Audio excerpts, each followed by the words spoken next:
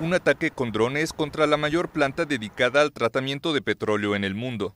Los rebeldes hutíes chiitas de Yemen, apoyados por Irán, reivindicaron los ataques del sábado contra las instalaciones de la petrolera estatal de Arabia Saudita, primer exportador mundial de crudo. Las fuerzas aéreas lanzaron una operación a gran escala con 10 drones que atacaron refinerías en Abqaiq y en Jurais, propiedad de Aramco al este de Arabia Saudita.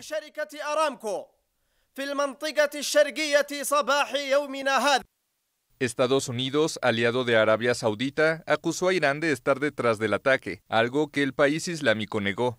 Teherán denunció en cambio que esos señalamientos eran una excusa para justificar agresiones en su contra. El príncipe heredero saudita Mohammed bin Salman, cuyo país es el gran rival regional de Irán, aseguró que Riad quiere y puede responder a esta agresión terrorista. Los saudíes encabezan desde hace cinco años una coalición internacional en Yemen contra los rebeldes hutíes. Arabia Saudita intentaba el domingo restablecer la producción en sus instalaciones.